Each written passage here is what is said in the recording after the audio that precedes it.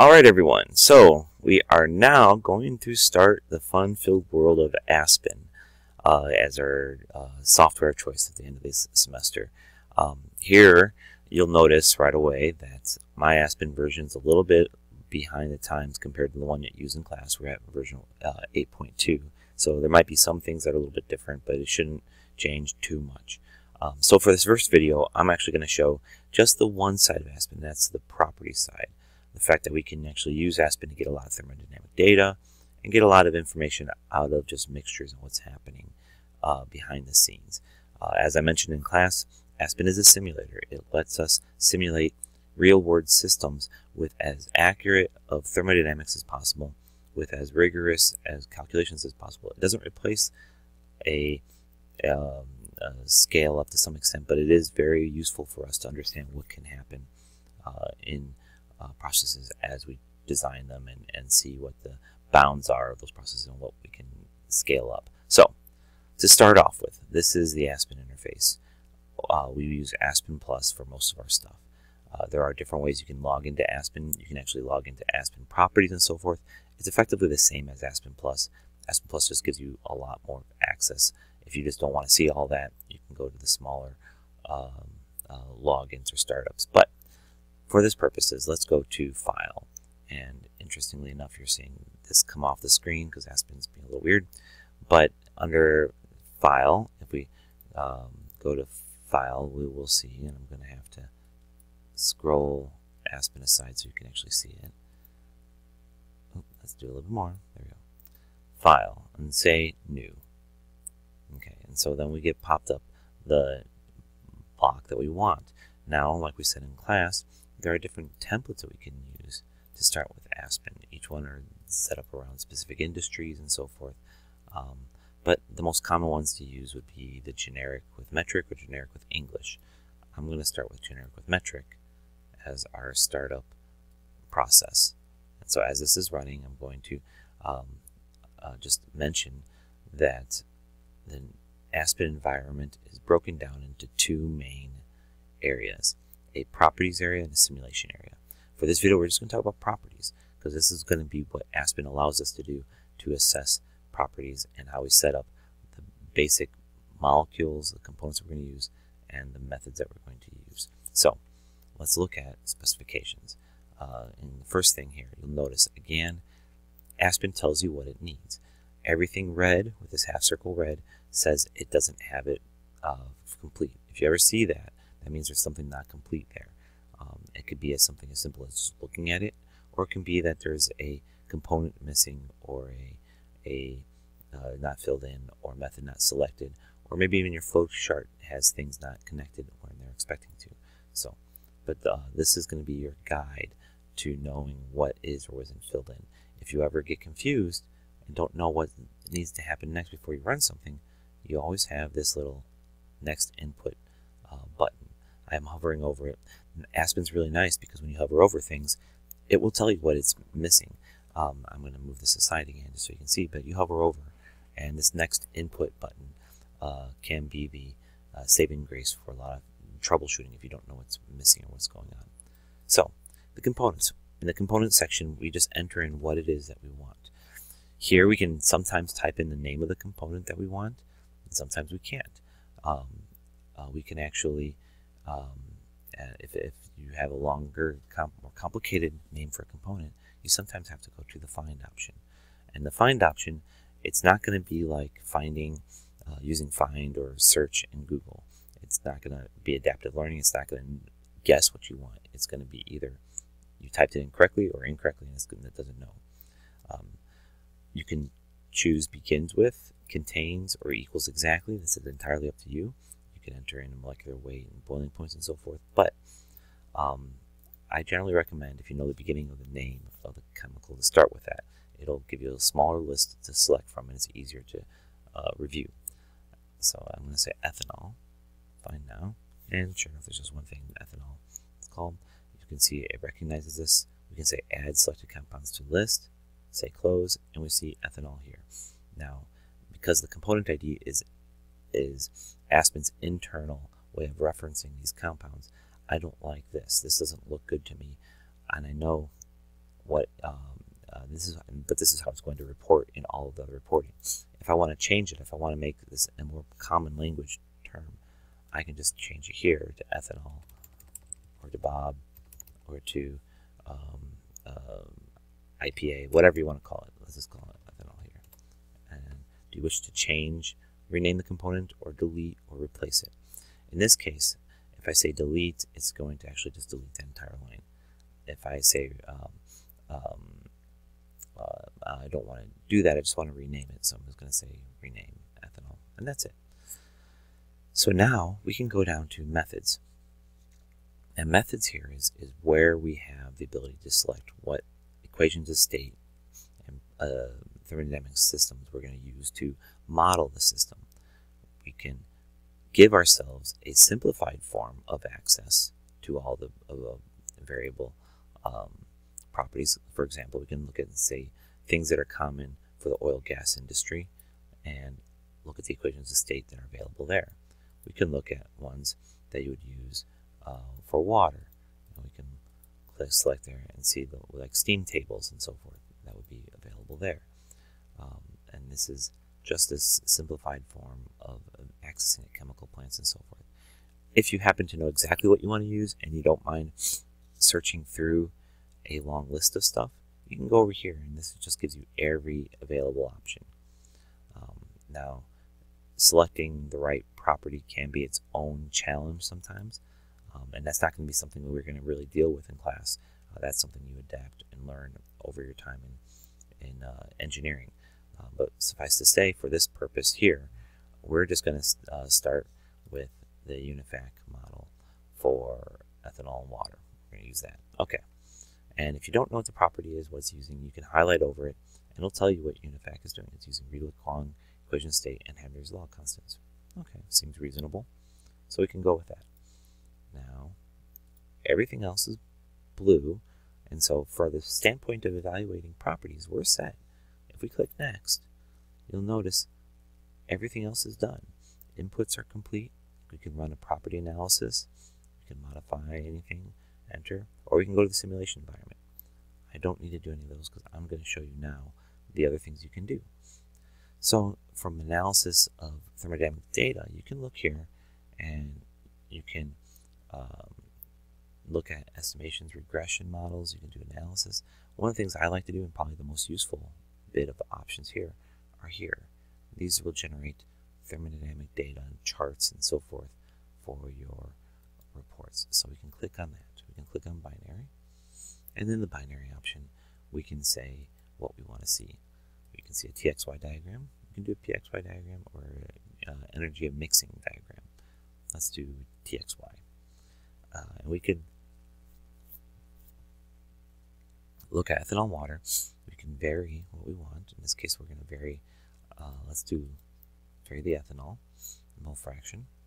And we can go from 0 to 1, which seems good and then the pressure we can select. Here, we're selecting 1 atm or 1 bar is atmospheric. Everything is good. You'll notice over here we can change the conditions that we want.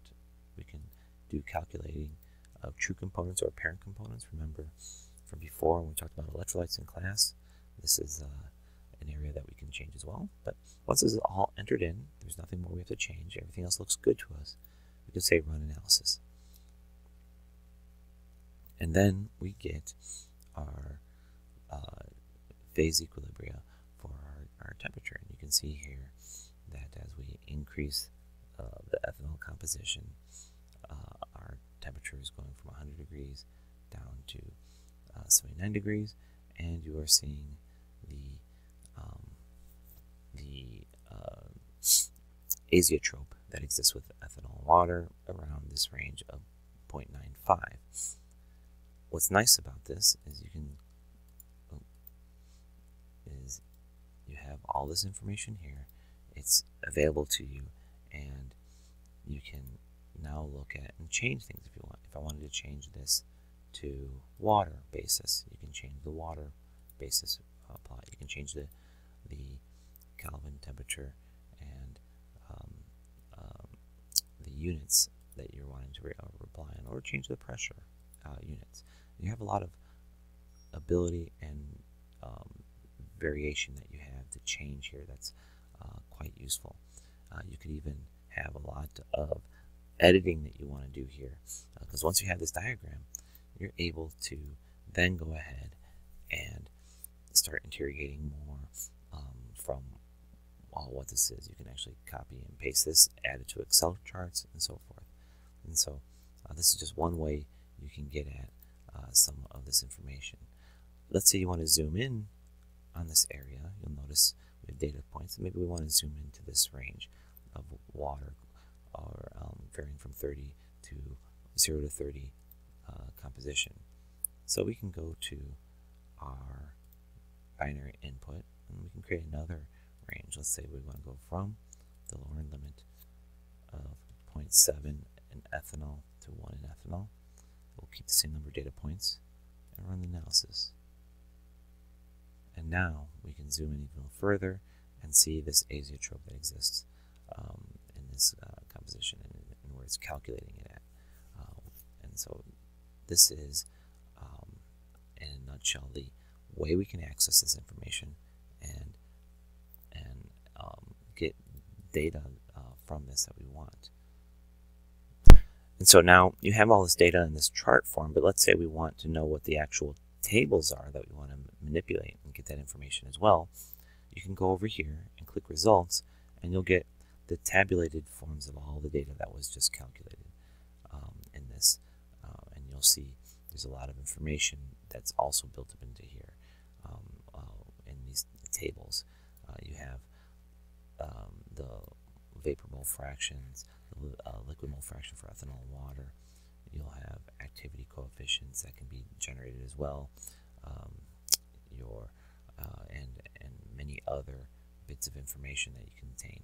If you have units to these that you want to change, you can go here in this data table, select the units you actually want, and report it in those units. So if I go to ATM, you'll see that this is all at one ATM, uh, one atmosphere for a lot of other things where there is no units, you don't have that option.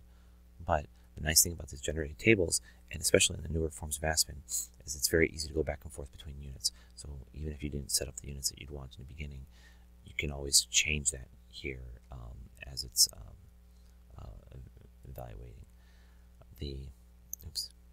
So, and this is just one way of getting at this information.